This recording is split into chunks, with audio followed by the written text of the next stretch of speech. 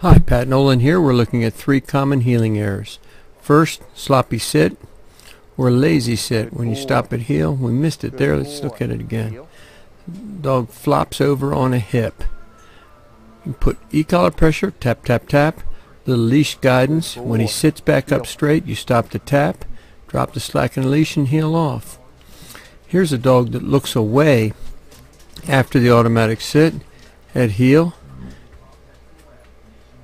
you can take right off. You can tap him with a collar for attention, but this is more mechanical. There's a physical necessity to pay attention to you. Less of an argument. You just take right off at heel.